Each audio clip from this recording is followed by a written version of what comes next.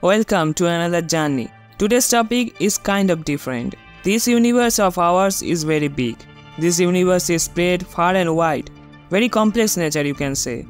This universe consists of time, matter, and energy. The universe began with an explosion we call the Big Bang. There are many mysteries about this space, which our brain cannot understand. But there are some facts that you might not know. If you know it's good, otherwise in today's video you are going to know 6 facts that you may not have heard before. So without wasting any more time, let's get started. Mercury has a tail. Our solar system currently has 8 planets. The closest planet is Mercury and the farthest planet is currently Neptune. Of our 8 planets, Mercury orbits the Sun most closely and most speedily. Mercury completely orbits the Sun in just 88 days. Mercury has no atmosphere, so its surface is constantly exposed to solar radiation and asteroids. In 2001, astronomers were keeping an eye on Mercury, the planet closest to the Sun. They discovered a strange thing, a comet-like tail, which is also known as the Mercury tail. We have seen the tail of comets, but how is this possible in the case of a planet? From 2011 to 2015, NASA spacecraft Messenger orbited Mercury. During these four years, it observed the tail of Mercury. It provided detailed observations of the tail, confirming its composition and behavior. Being so close to the Sun, Mercury's surface is constantly exposed to solar radiation, which causes the sodium atom on Mercury's surface to come out. The ejected solar atom collides with our solar wind and bounces back, creating a diffuse comet-like tail that extends millions of kilometers into space. Although it has a comet-like tail, Mercury's tail is not always uniform. The composition and length of this tail depends mostly on the sun's solar radiation and Mercury's position near the sun. While the tail is not visible to the naked eye, it can be observed using specialized instruments sensitive to the specific wavelengths of light emitted by sodium atoms. Mercury's tail is fascinating example of how even small airless planets can exhibit comet-like features under the right condition highlighting the dynamic and interconnected nature of our solar system. There is a man buried on the moon. Yes, there is a man buried on the moon. His name is Dr. Eugene Shoemaker, a renowned American geologist and one of the founders of the field of planetary science. So you may be wondering, how can a man be buried on the moon? Let me tell you, Eugene Shoemaker is known for making major contribution to the study of crater impacts and increasing the importance of planetary science. He discovered comet Shoemaker-Levy 9, which later collided with Jupiter in 1994. He was to become the first geologist to set foot on the moon, but as his physical condition deteriorates, he is forced to withdraw. He sends astronauts to the moon by training to get to the moon. In 1977, he arrived in Australia to find such craters, where he died in an accident. The Shoemaker's ashes were carried to the moon by NASA's orbiter. There, the orbiter provided detailed information on the composition of lunar surface. Then on July 31, 1999, the orbiter completed its mission and was intentionally dropped on the lunar surface. His ashes were in capsule and he is the only person whose remains are on the moon. There is a huge cloud of floating water in space. Yes, it's true. We all know that water clouds can be seen on Earth. Outside of Earth, water is mainly ice or vapor but scientists have found a water cloud in space. It was discovered around a quasar known as APM 082795255. This quasar is 12 billion light years away from Earth.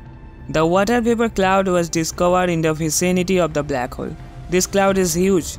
According to scientists, it has 140 trillion times the amount of water in our ocean. It is about 100 light years across. The environment around the quasar is extremely energetic and warm with temperatures around minus 53 degrees Celsius. The water vapor is located in a gaseous state due to the surrounding heat generated by the quasar's activity. Through this water cloud, we understand that the main thing of life water was present in our universe long ago.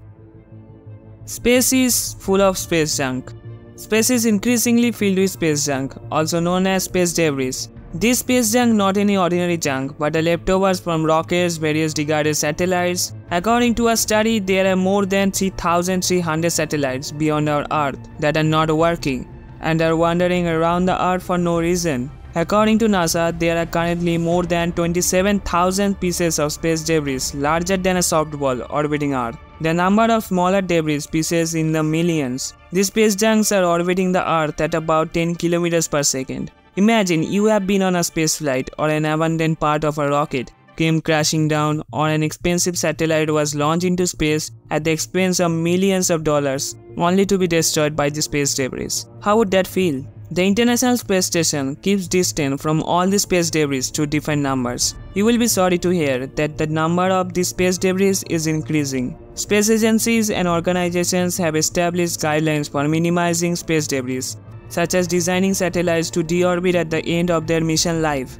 Efforts are being made to develop technologies to remove debris from orbit such as nets, harpoons and robotic arms. Technologies are being developed to actively remove debris from orbit such as satellite servicing missions. Innovation in satellite design like self-deorbiting system aim to reduce the creation of new debris. Our space isn't empty.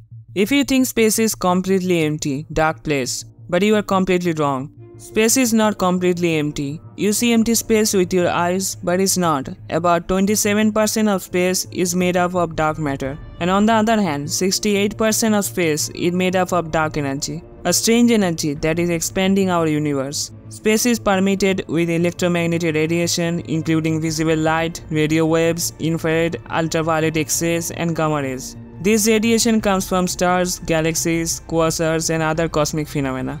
It may surprise you to hear that space contains not only natural things, but also man-made things. So even if space seems empty, it is not empty, at least for dark matter and dark energy.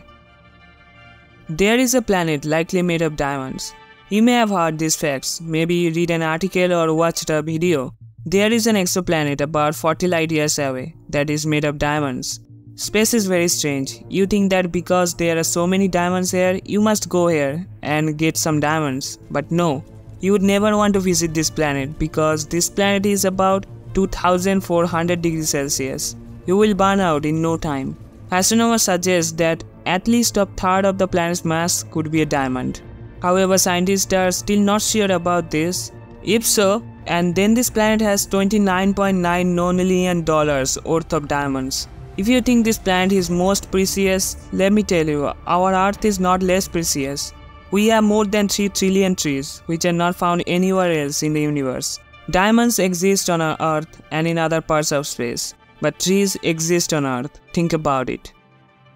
However, space is very interesting and very surprising. We all love to know about space, so subscribe the channel and stay tuned to know about space. If you like it, give it a like. See you in the next video. Stay tuned. Are we about to discover the ninth planet in our solar system? Or how our sun lost its twin?